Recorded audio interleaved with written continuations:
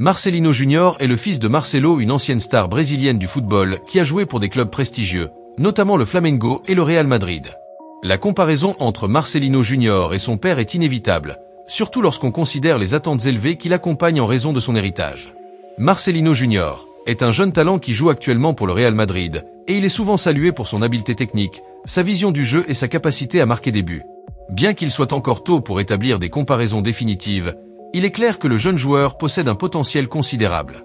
À chaque apparition sur le terrain, il montre des éléments de son jeu qui rappellent les qualités de son père, mais avec sa propre touche unique. Son père, Marcelino, a connu une carrière impressionnante, notamment en Europe, où il s'est distingué par sa créativité et sa capacité à changer le cours des matchs.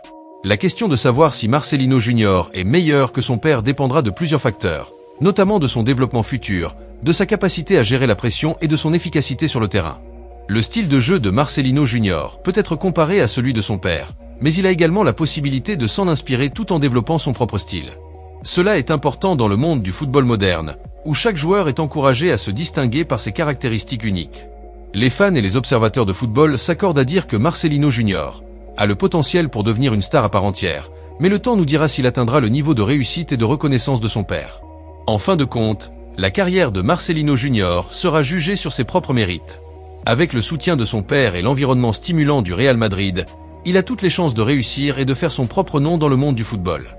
La comparaison avec son père est naturelle, mais l'avenir appartient à Marcelino Junior et à la manière dont il choisit d'écrire son propre chapitre dans l'histoire du football.